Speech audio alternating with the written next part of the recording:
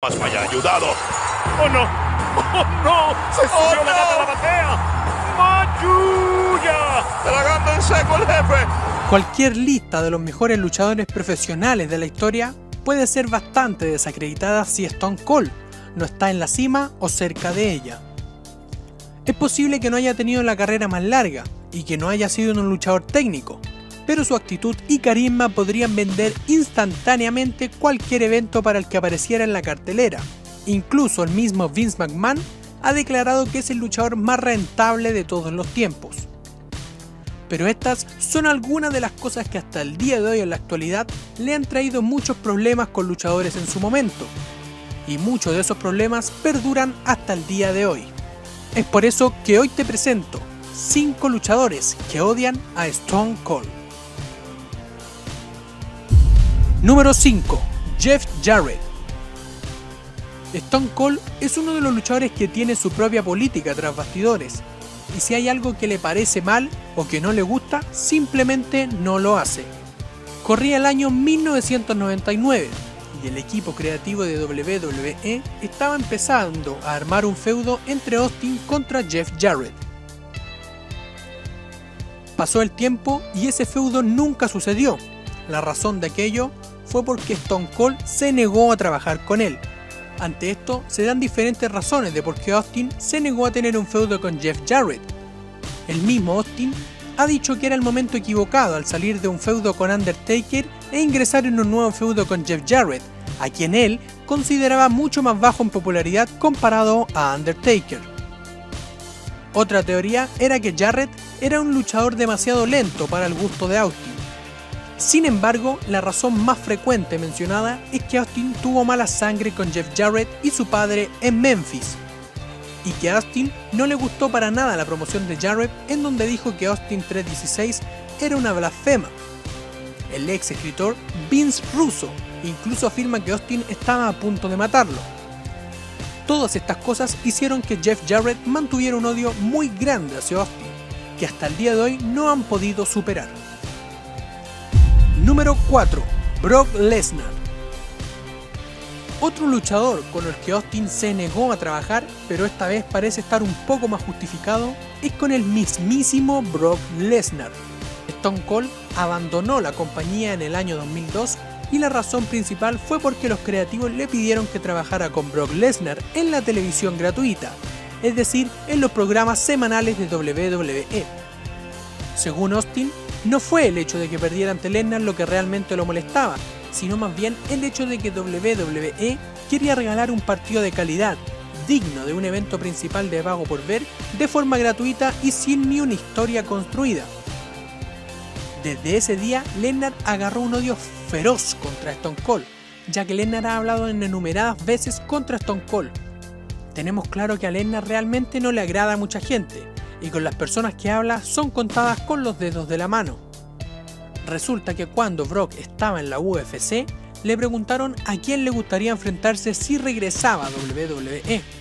A lo cual Brock Lesnar respondió que le gustaría enfrentarse a Stone Cold, pero no sin antes de llamarlo como el tipo que abandonó WWE porque estaba demasiado asustado para enfrentarlo.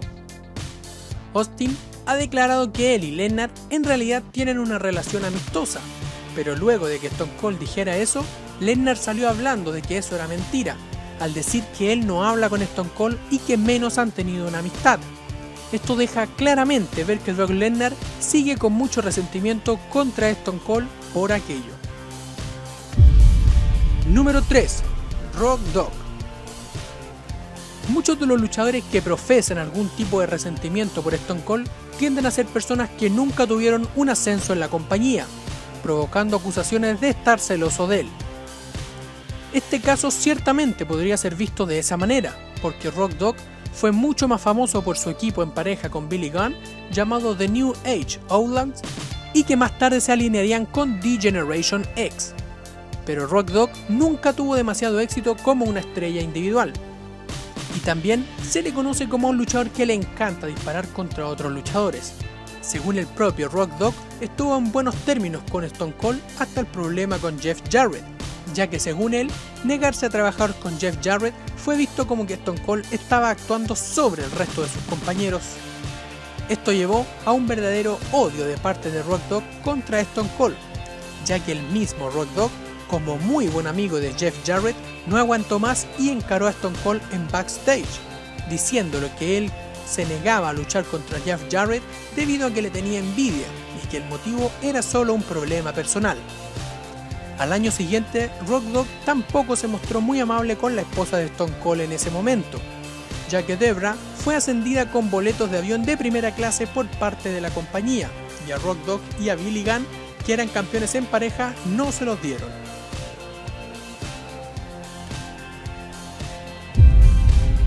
Número 2. Ahmed Johnson. Ahmed Johnson tuvo una corta carrera en la lucha libre, pero en solo 4 años con la WWE dejó su marca, convirtiéndose en el primer luchador afroamericano en ganar un título individual en la empresa, ganándole a Goldust el campeonato intercontinental. Más tarde se peleó con la Nación de la Dominación hasta que dejó la compañía en 1998. Apenas tuvo la oportunidad de interactuar con Austin y no fue una buena impresión. Johnson afirma que en sus interacciones en backstage con Stone Cold se dio cuenta de que era una persona racista. Uno de los incidentes sobre los que habla fue al encontrar muchos insultos raciales en su auto estacionado en la arena donde se desarrollaba aquel día Raw is War. Y aunque incluso admite que no tiene pruebas, sospechó que era Stone Cold y dice que está 100% seguro de que fue él el cual le rayó su auto con insultos racistas. También contó que algunos fanáticos presentes detrás de la arena por donde estaban los estacionamientos que esperaban la salida de los luchadores para un autógrafo vieron todo y le dijeron que sí había sido Stone Cold.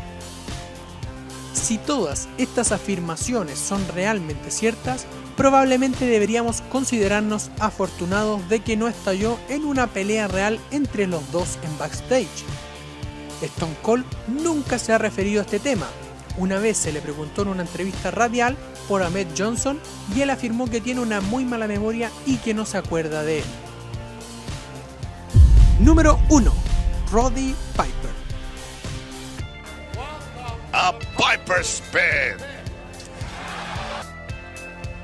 El recientemente fallecido Roddy Roddy Piper nunca tuvo demasiadas oportunidades de brillar en la escena del evento principal de la WWE o de la extinta compañía WCW, pero aún así era uno de los luchadores más superiores de su tiempo.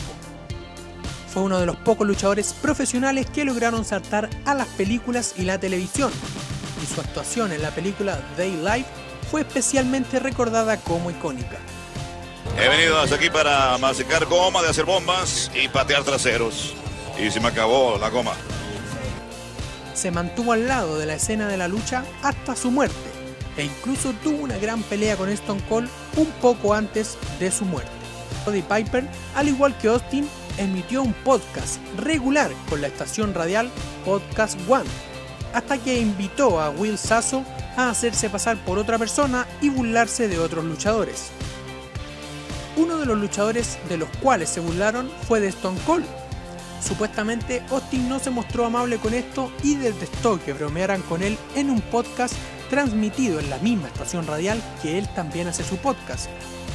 Comenzó a hablar con los superiores y altos mandos de Podcast One como también de la WWE, diciendo que si la estación radial Podcast One no sacaba el podcast de Roddy Piper, él sacaría su podcast de aquella estación radial. Esto hizo que al mes siguiente despidieran a Roddy Piper de la compañía radial Podcast One. Roddy Piper había perdido todos sus trabajos y su sustento meses antes de su fallecimiento, y en su mayoría culpaba a Stone Cold de esto, ya que fue la serpiente cascabel el cual se dio tiempo de hablar con los altos mandos de la estación radial para que lo despidieran. Pese a todo, Roddy Piper ocupa el puesto número uno de este top por su icónica frase tres meses antes de morir. Nunca te perdonaré esto, Austin. Recuerda suscribirte a mi canal y ver los demás videos anteriores de 5 luchadores que odian a. Muchas gracias a todas las personas que me recomendaron a Stone Cold. Recuerda escribir en los comentarios a quién te gustaría ver en este increíble top. Si el video te gustó, recuerda darle me gusta y suscribirte a mi canal también apretar la campanita